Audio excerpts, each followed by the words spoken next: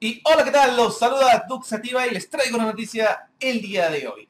Bueno, el día de hoy se lanzó un trailer eh, allá en China, la cual muestra un Call of Duty Online, bueno, online, la cual es un free to play.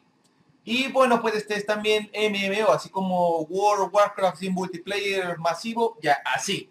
Bueno, ya se lanzó esto solamente para China y es para gamers de PC. Y bueno, pues pusieron un trailer, ¿no? Y la verdad me puse a ver el trailer, se ve casi igual que cualquier Call of Duty. Pero la diferencia es que va a ser gratis, ¿no? Free to play acá, free to play, bueno.